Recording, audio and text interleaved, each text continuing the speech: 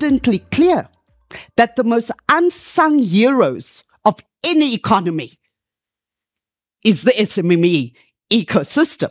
In 1996, Vodacom launched its first SMME creation program.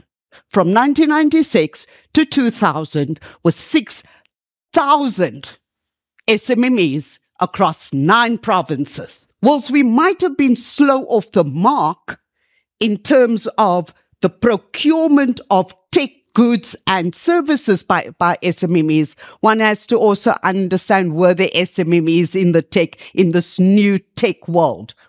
Unfortunately, over time, by 2003, 2005, we saw the eradication of SMMEs across the entire ICT ecosystem. This was a ring fence reser- reservation for the for Europe, the Americas, right? Even China started late. So move forward to when BEE comes into play. We did not wait for a law to happen to realize that no economy can survive unless you place your money behind SMMEs. Not only do because of a letter of a law, but more importantly, and most importantly, the spirit and intent. So when we partner, when we decide where our money is going to go, it's not a partnership because it is a commercial deal. It's not a partnership based on a legislative tool that gets expelled upon us.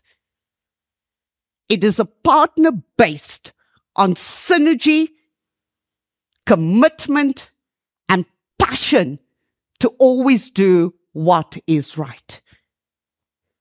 About 10, maybe 12 billion rand is what's going to SMME suppliers in a year, by the way. That's not over a decade. During COVID, the one thing that Shameel Joosub, CEO of this great Vodacom group company, said no SMME will die on Vodacom's watch. So we have an early payment system where qualifying SMMEs get paid within five working days from invoice. And he said, I don't care how difficult it will be for us, but this is the one thing we will honor during COVID. And we did. We are truly a South African company, but we can't make that statement if we leave South African economies behind.